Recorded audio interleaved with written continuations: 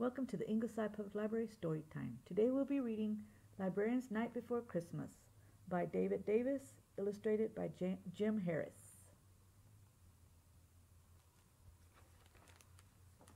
Twas a cold Yuletide evening, and I wandered the stacks, shelving multiple titles that patrons brought back. We toiled over time at our, our library here, 'cause the powers that be cut our staffing this year.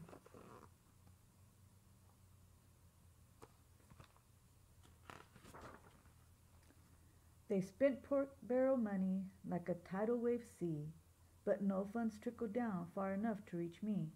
Our books numbered few and were falling apart, and I sat mending pages with a crestfallen heart.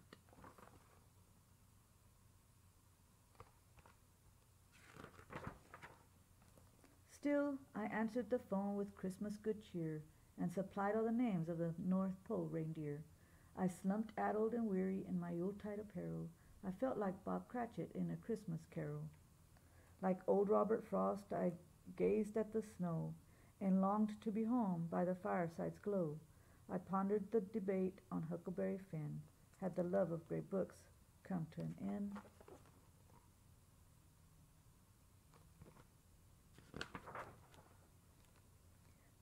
What happened next didn't seem to be real. 'Cause out of the sky cruised a red bookmobile. Up to the front steps flew this library ride, with a portrait of Shakespeare airbrushed on the side.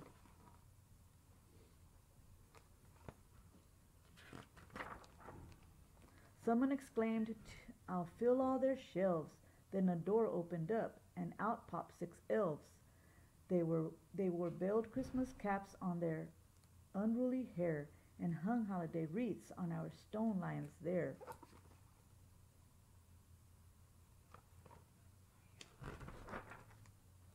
Santa charged through the door, and his black knee boots alone shone.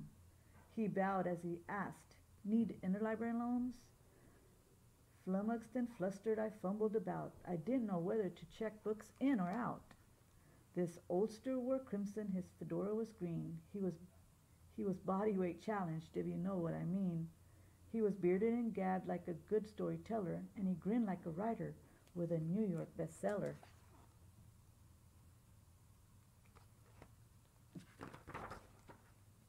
Nick was jolly and droll, a white mane crowned his head, and I could tell by his diction he was very well read.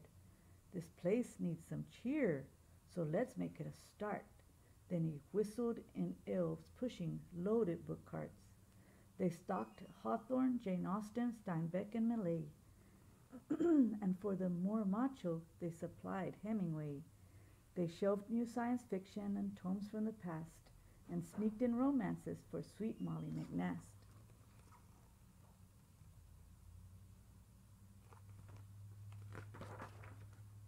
Nick signed Newbery winners and started Caldecott. Each child got a book, which delighted the tots.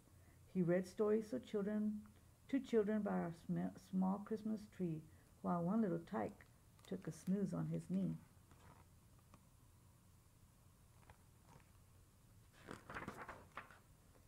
Elves poured steaming hot chocolate in bright Christmas mugs and rolled out soft carpets to replace our frayed rugs. They fixed leaks in the ceiling and patched the cracked wall and hung a large portrait of Mark Twain in the hall.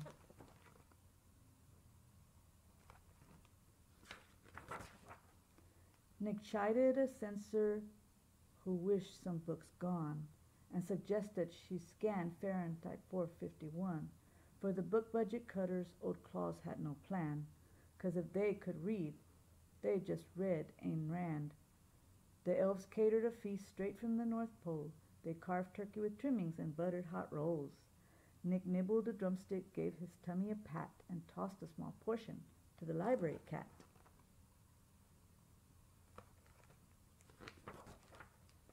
They organized goodies so we couldn't miss them according to Dewey and his decimal system.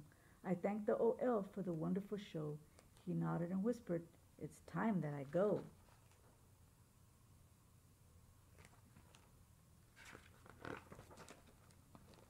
After checking his watch, he paid overdue fees, while folks promised to read and unplug their TVs. With these library gifts, my world shined much brighter, But this crew had a schedule, a bookman all-nighter.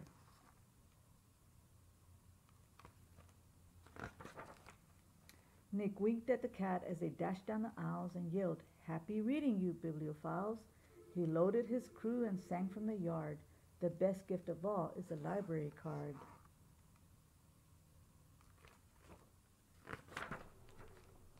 His ride lifted up and flew over the gate, and just to show off, he zoomed a fast figure eight. Nick boomed from his book van, Do one more good deed, have a real Merry Christmas, teach someone to read.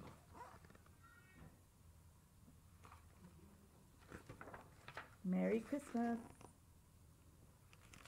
I hope you enjoyed this book. It's available at the Ingleside Public Library. See you next time.